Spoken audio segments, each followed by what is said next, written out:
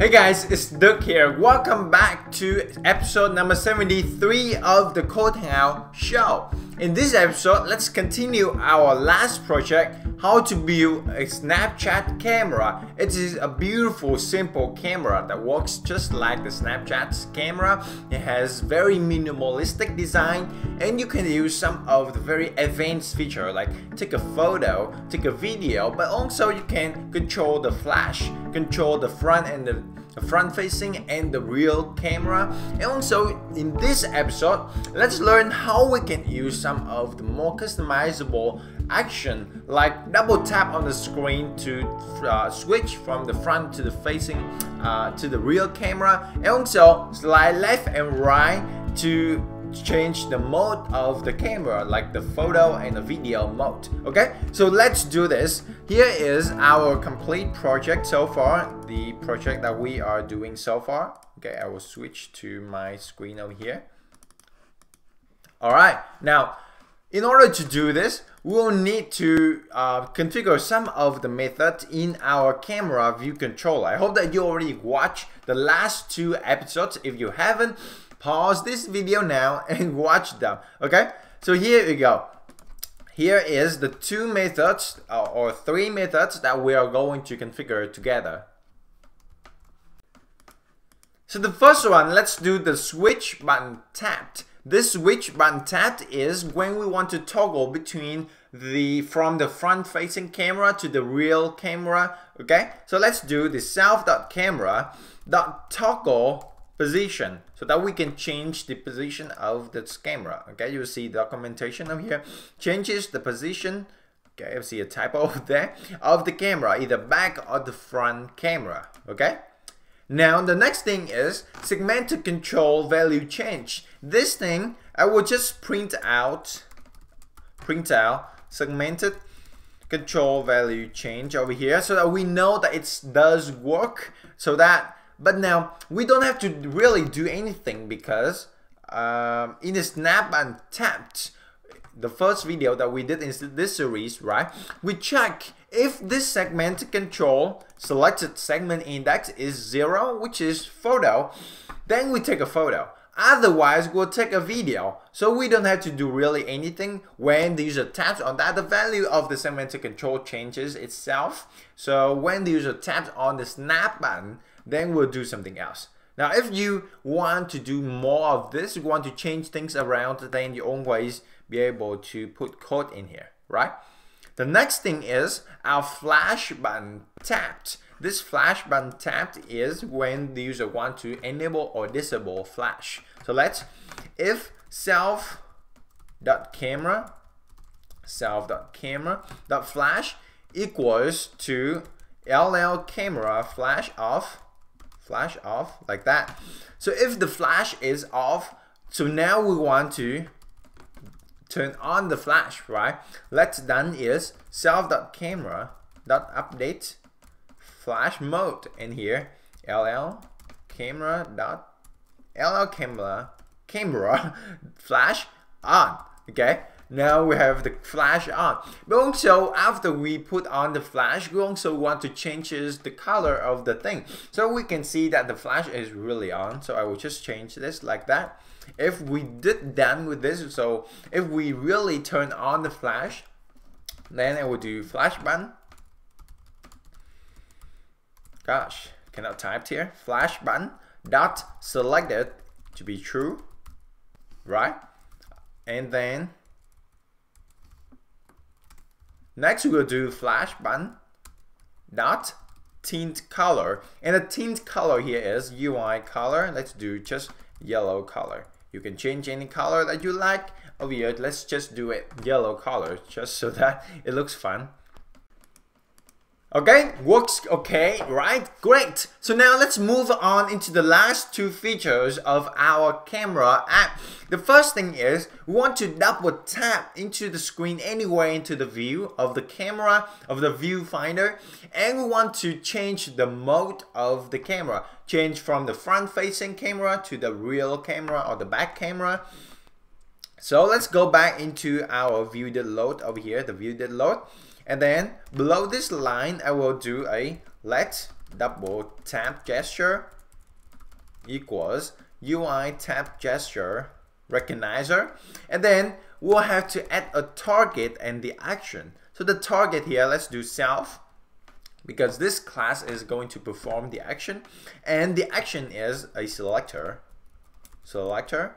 And then this is switch button tapped which is this thing over here.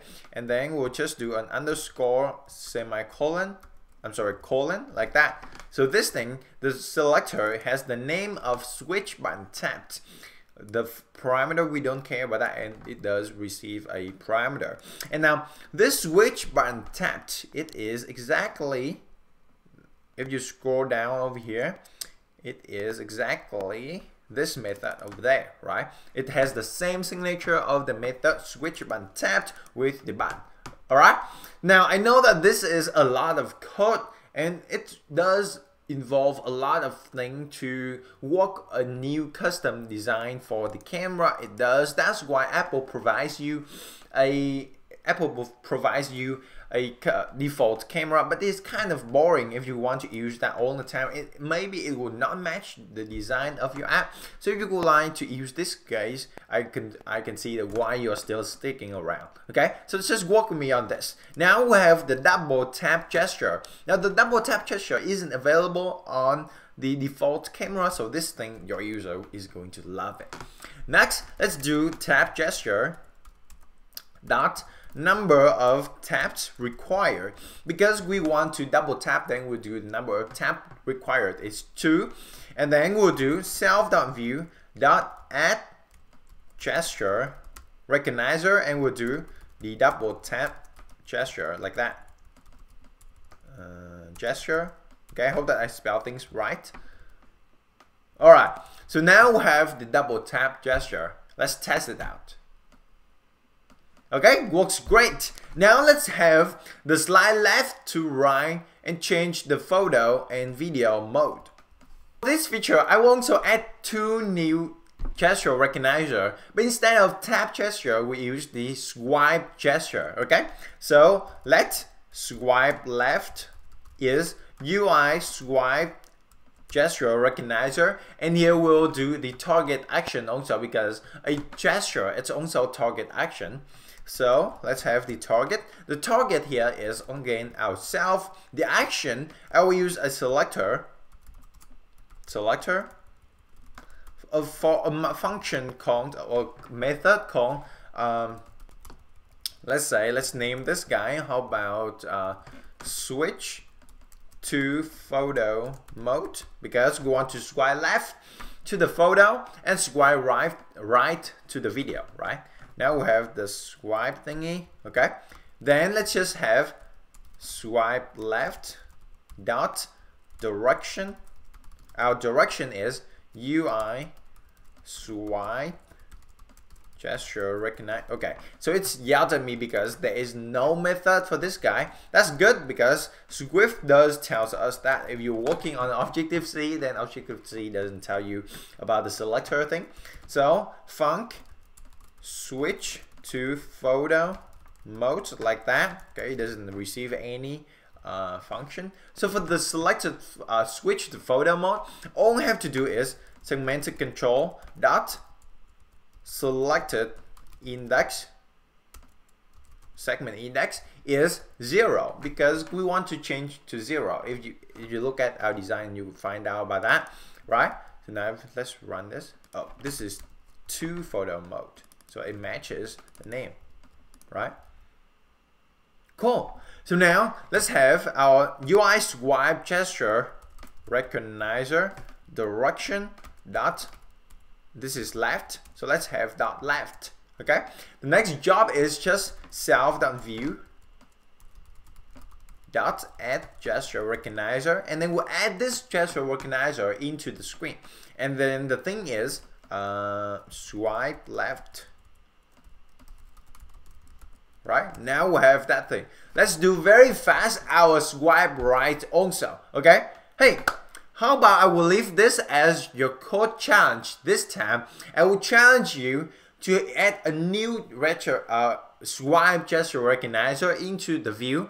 And add that so that when you slide swipe to the right then you change that into the movie or the video mode okay? So I hope that you enjoyed this episode this series number 72 73 and 74 of our Code Hangout show so far. I believe that it will add tremendous value to you and you will see it is very clearly and very easily to implement this camera okay I hope that you enjoyed this and as always go back to your email because I hope that you will join that series course, that video tutorial series, a new online course that I deliver to your inbox so that we get more to know more about each other. I am so thrilled to be able, be able to serve you here. And also, I want to uh, bring to you my new iOS course which I created for you for free and you will receive that as my thanks for checking out the Code Hangout show. So uh, well done. It has been a great, great journey. It has been